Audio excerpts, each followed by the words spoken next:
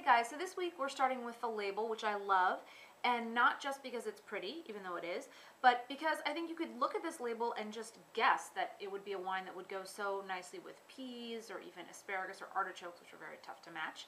And your guess would be right, because what is in the bottle is Gruner Veltliner, and you can call it Gruner for short. Uh, Gruner is the iconic grape of Austria.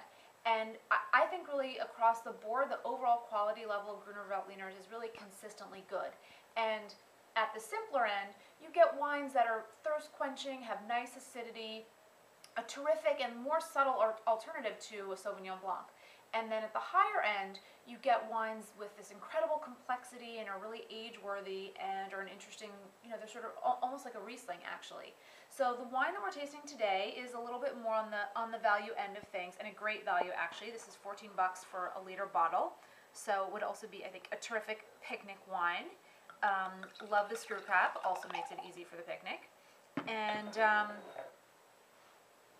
it really has this cool mineral quality that I always associate with Gruner Veltliner. And white pepper is another um, typical descriptor, and it's absolutely here.